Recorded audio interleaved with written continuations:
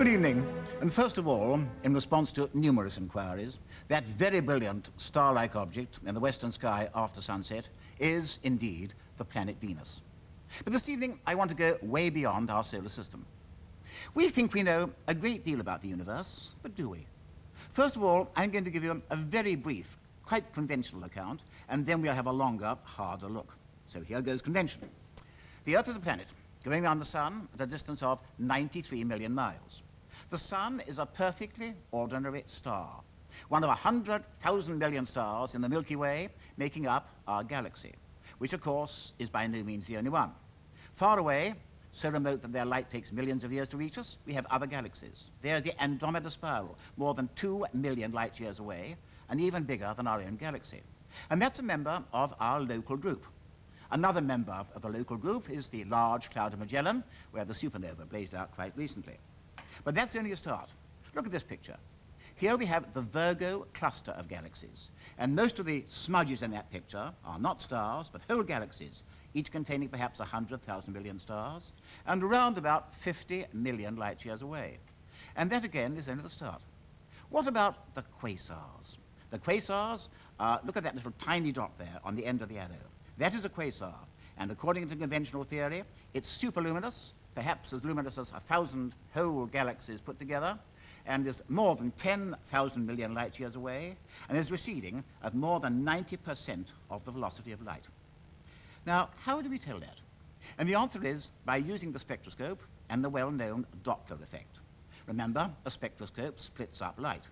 And when you look at the spectrum of a star, or a galaxy, you see a rainbow background crossed by dark lines, each one of which is due to some particular element or group of elements. Now, if the light source is moving away, its light appears slightly too red. And that means that all the spectral lines are shifted over to the long wave or red end of the spectrum. That is the red shift, and it is absolutely vital because all our distance measures in the far universe depend, uh, depend upon it. Let's go back again to that quasar. Now, how do we know it is so remote and so luminous? Because of its red shift. The greater the redshift, the greater the distance, and the greater the velocity of recession. That's the conventional theory. But that depends upon the redshifts being pure Doppler effects. Now, just suppose there's some other cause of the redshift superimposed on the Doppler effect. And if that is so, if the redshifts are not pure Dopplers, then all our distance measures may be wrong. And one astronomer who believes that and has observational evidence to back it up is Dr. Halton Arp, formerly of the Mount Wilson Observatory and now of the Munich Institute. Dr. Arp, we're delighted to have you with us. Uh, if you're right, then the effects upon all our thinking are going to be pretty profound. Our entire view of the universe, the size and the mass and the contents, depends on this assumption that we can tell distances by redshift. If that one crucial assumption is incorrect, then our picture falls apart and we don't know very much. Well, first of all, then, will you give us the observational evidence that you have that the redshifts are not pure Doppler effects or something else superimposed on it? Uh, fundamentally, the only way you can tell the distance in the universe is to see an object associated with another object whose distance you know. So that if you see objects uh, which are clustered together or are interacting together, you know that they're at the same distance. And if you find that their redshifts are much different, then you know that the redshift can't be a measure of the distance. Now, an example of this uh, we see in this very pretty uh, spiral galaxy with three quasars on the edge of it. Uh, the quasars have enormously high redshift, and the spiral galaxy has a low redshift. These quasars are so close to the galaxy that they are statistically or probably associated. We see other examples of this. For example, here are three other quasars associated very, very close to, to a galaxy. Now, in addition to these close associations, which are statistically uh, probable, we see uh, quasars actually linked to the galaxy. In this case, the quasar Markarian 205, just below the disturbed galaxy NGC 4319, has a very much higher redshift than the galaxy, uh, which is only about 2,000 kilometers per second. Uh, the quasar has about uh, 20, 21,000 kilometers per second. The next example shows a quasar of very high redshift, 1.17, and it's connected by a luminous bridge into a disturbed galaxy with a jet uh, uh, that you can see here. The, the galaxy is, again, very much lower redshift, the quasar is a high redshift. Now, uh, not only do we have these quasars of very high redshift uh, linked and associated with uh, lower redshift galaxies, but also we have uh, galaxies themselves of different redshift, which are apparently, which are clearly interacting, but have much different redshift. This is a, a famous example of one of these. There are many, many objects, many like this known now. Uh, the central galaxy is a disturbed uh, Seyfert galaxy with a redshift of 8,000 kilometers per second, and the companion, uh, which is linked to it, is, is 16,000 kilometers per second, much higher. Now, are you sure these links are genuine? Could it be any kind of line of sight effect? The, the only possibility is that there is an accidental projection of background objects. However, these objects fall so close that the probability is overwhelmingly uh, that they are in fact associated. One of the objects we just saw, the chances was one in a million for an accidental association. Another object we just saw, the chances were one in 50,000.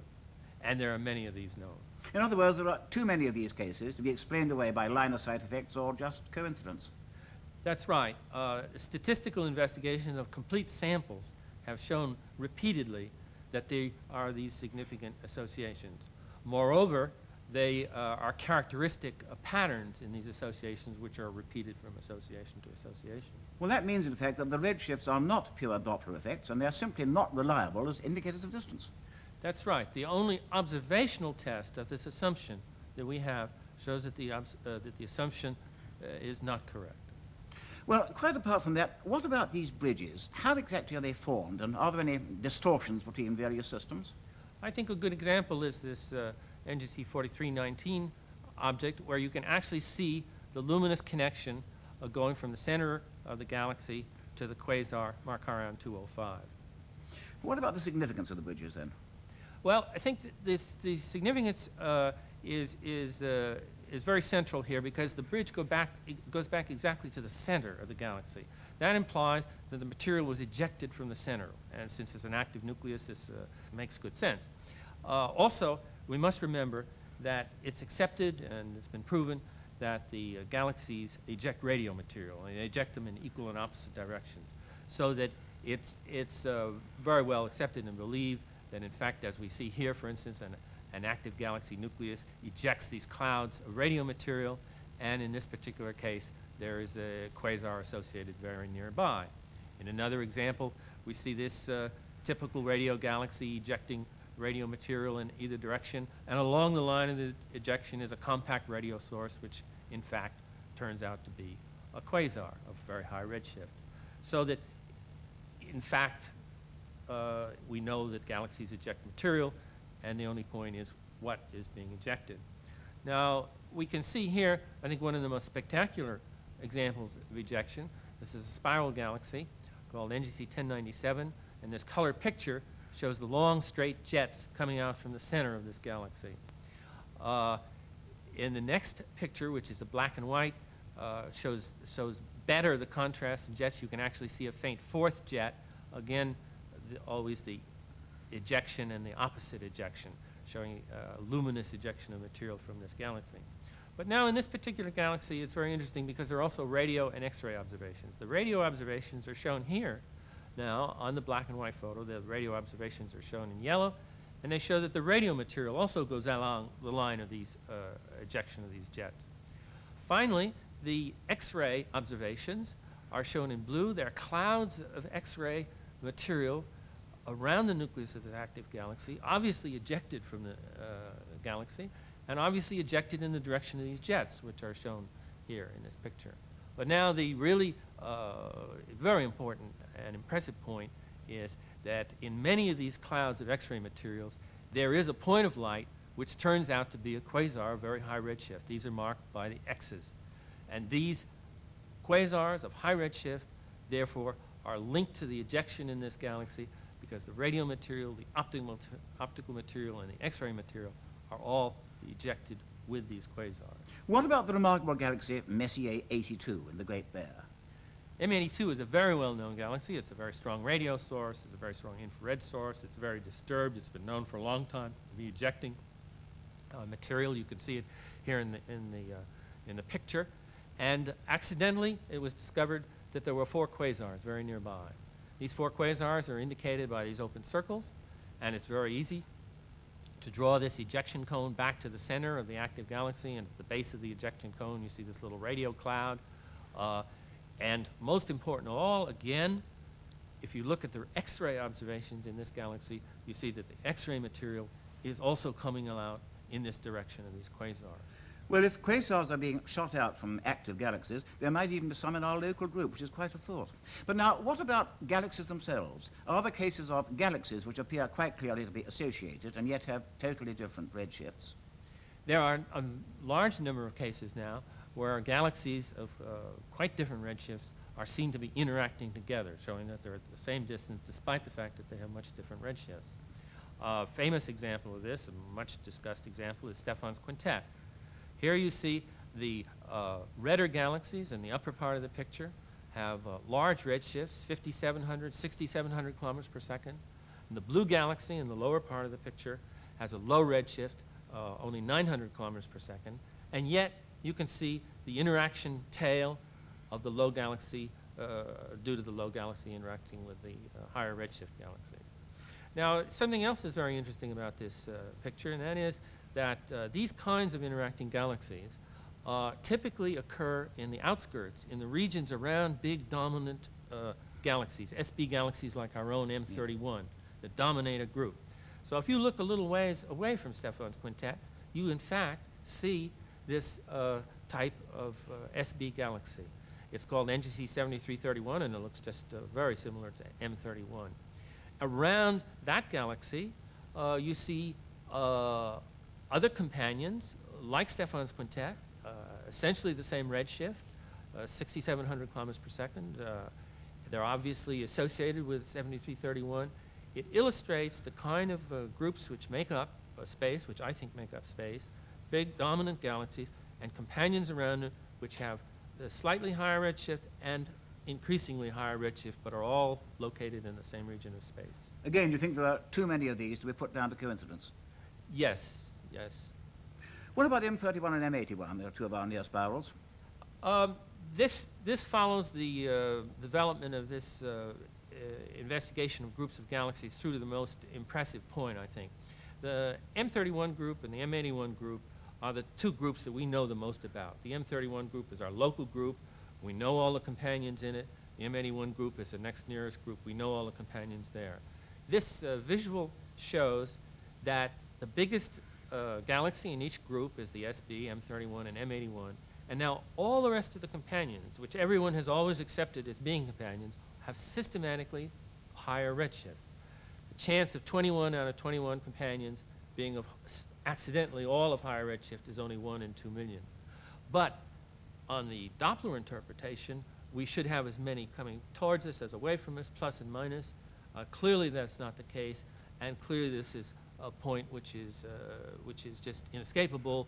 Uh, there are no future measures are going to change these redshifts, and we're not going to find any more companions, so we have to deal with this piece of evidence. Well, you're certainly painting an entirely new picture. How do astronomers in general view it? I think that um, that there's a great commitment to the assumption that redshifts always mean velocity. And there's a great uh, reluctance to, to give up this assumption because uh, a lot of work has been based on it, and, and, and there is this reluctance to, to recognize evidence which, which contradicts this assumption. However, if, if it's true that the redshifts are not uh, always uh, indicative of velocity, and it's continued uh, to be believed that it is, if this assumption is continued to be believed, then we reach a very critical point in the science of extragalactic astronomy. And this is so important that I think that everybody, every person then has to make up his own mind, exercise his own judgment on this, on this matter, and therefore I think it's very important to discuss the facts of the matter as we have here. I'm quite sure you're right there. Well, I'm no cosmologist, as you know. Anything beyond the orbit of Neptune is rather a long way out for me. But if you're right, and there is an extra redshift superimposed on the Doppler effect, what's the cause of this non-velocity redshift? Well, the first point I have to make is that the observations show that the present assumptions are inadequate, so we have to have some other explanation. I think there are a number of explanations uh, which are possible and which uh, different people uh, defend in a very spirited way that's as it should be. My particular uh, hypothesis, my working hypothesis, my explanation is that the uh, matter which goes into making up these quasars and these higher redshift galaxies is, is uh, young matter which has high, intrinsically high redshift, which is ejected from the uh, galaxy and which decays and evolves as a function of time into more normal lower redshift galaxies. Well, in general, it's generally thought that the high redshift galaxies are a long way away, and the high redshift quasars are the most distant and therefore the most luminous. What you're saying is that instead of being the most luminous, the high redshift quasars are actually at the least luminous. That's the most exciting point for me. If the material out of which these uh, newer uh, quasars are, are, formed has low mass in the sense that the constituent particles, the electrons and the pro uh, protons have lower mass, then their redshift will be high. Now, uh, there's a rigorous theory uh, uh, due to Fred Hoyle and Jayant Narlikar that the mass of elementary particles, of the constituent particles, can evolve with time. my application to, of that to this situation is that it's the evolution with time of the mass of these particles which causes the initially high redshift to decay and become more normal. In current physics, though, is this kind of creation of matter a possibility? In uh, past years, uh, it has not been a very respectable uh, thing to talk about creation of matter. And that's a little puzzling, really, because it's had a long and honorable history. The uh, brilliant uh, physicist uh, Paul Dirac, more than a generation ago, talked about the creation of matter. Uh, uh, Hoyle and Bondi and Gold talked about the creation of matter in connection with the steady state theory. Uh, Andrei Sakharov in, uh, in 1965 uh, suggested the uh, creation of seeds of galaxy creation this way. so it, it has an honorable history. However, just recently it's become much more respectable because of inflation theory. Inflation theory is the attempt of physicists to explain the expanding universe by means of fundamental physics, and in that process they uh, conceive of, um, of creation of matter. They, the technical term they use is fluctuations in the uh, material vacuum. And essentially you're looking at a, a piece of space and the properties uh, vary and suddenly some material appears. Well, why not? Uh, my hunch is that the material appears uh, where material previously exists in the center of nuclei of galaxies and that then this material uh, flows out uh, along the bridges or perhaps along the spiral arms. And this particular spiral galaxy we see here, we see that there is a, a, a disturbance in the top, uh, in the arm at the top, and if we look in more closely, we find a very peculiar blue object associated with that uh, spiral arm. And if we take the spectrum of that object, we find, amazingly, that it has a redshift a tenth the velocity of light, an enormous discrepancy.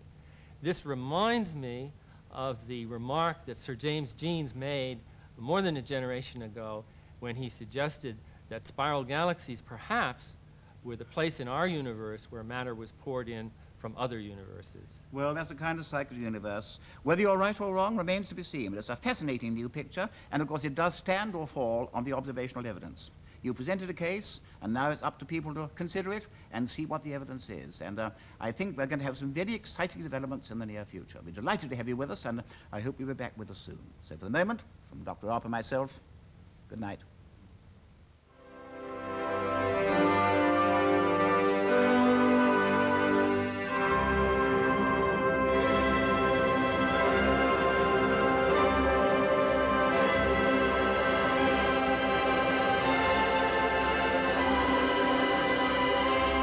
You not to attend.